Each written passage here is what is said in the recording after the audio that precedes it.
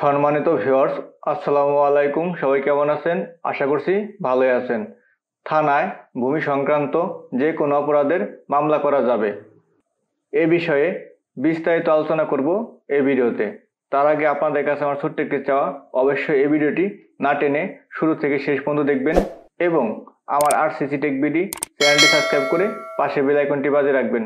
এতে করে ভূমি সংক্রান্ত সকল ভিডিওগুলো সবার আগে পেয়ে যাবেন। তাহলে চলুন বিস্তারিত জেনে আসি।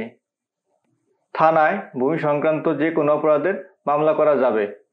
ভূমি সংক্রান্ত অপরাধের অভিযোগে দণ্ডবিধির যেসব ধারায় এতদিন মামলা হতো, তার বড় একটি অংশ আমল অযোগ্য ছিল। বিধায় এসব মামলা দায়ের করতে বিচার প্রার্থীদের আদালতে যেতে হতো। নতুন ভূমি আইনে প্রতিটি অপরাধ আমলযোগ্য করা হয়েছে। ধারা উনিশ। ফলে বিচার প্রার্থীরা এখন থেকে এসব মামলা থানাতেই দায়ের করতে পারবে। ভূমি সংক্রান্ত এসব অপরাধের দায়ে আসামিকে বিনা পরোয়ানায় গ্রেপ্তার করতে পারবে পুলিশ। ধরে নিলাম, আপনার সাথে নতুন ভূমি আইনে একটা অপরাধ, ভূমি প্রতারণা বা জালিয়াতি বা অন্য কোনো অপরাধ সংগঠিত হয়েছে। এখন আপনি গেলেন পুলিশের কাছে অভিযোগ করার জন্য। কিন্তু আপনি যার বিরুদ্ধে অভিযোগ করছেন, পুলিশ তার বিরুদ্ধে অভিযোগ গ্রহণ করল না।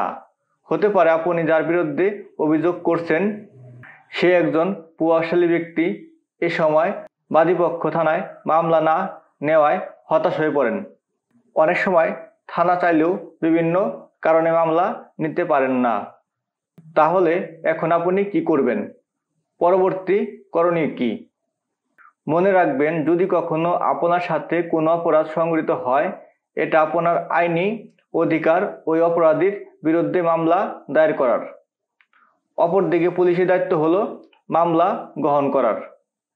কখনো যদি পুলিশ তার দায়িত্ব সঠিকভাবে পালন না করে, তার মানে এই না যে আপনি ও আপনার অধিকার থেকে বঞ্চিত হলেন। পুলিশ যদি থানায় মামলা গ্রহণ না করে, সেই ক্ষেত্রে আপনার কাছে দুটি পথ খোলা রয়েছে। ক, আপনি সংশ্লিষ্ট জুডিশিয়াল কোর্টে গিয়ে একজন আইনজীবীর সাহায্যে নালিশি অভিযোগ দায়ের এর মাধ্যমে আপনার সাথে যে অপরাধ সংঘটিত হয়েছে, সেই বিষয়ে মামলা দায়ের করতে পারবেন। খ, পুলিশ যদি থানায় মামলা না নেয়, তাহলে আপনার কাছে যে দ্বিতীয় পথটি খোলা রয়েছে তা হলো হাইকোর্টে গিয়ে রিট দায়ের করা। মনে রাখবেন, রিট দায়েরের সময় আপনার সাথে যে অপরাধ সংঘটিত হয়েছে, সেই বিষয়টি রিটে উল্লেখ করতে হবে এবং সাথে প্রতিকার হিসেবে চাইতে হবে, পুলিশ যেন আপনার মামলাটি গ্রহণ করে এবং সংশ্লিষ্ট যে অপরাধীরা আছে, তাদেরকে যেন পুলিশ গ্রেপ্তার করে। এই রিটটি যদি আদালত গ্রহণ করে এবং পুলিশকে যদি এই বিষয় মোতাবেক আদেশ প্রদান করে, তাহলে পুলিশ সে আদেশ পালন করতে বাধ্য।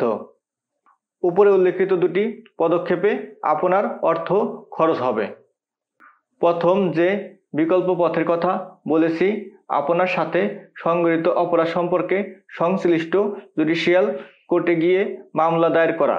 এই ক্ষেত্রে অর্থ কম খরচ হবে। এটা অনেকটা যৌক্তিক।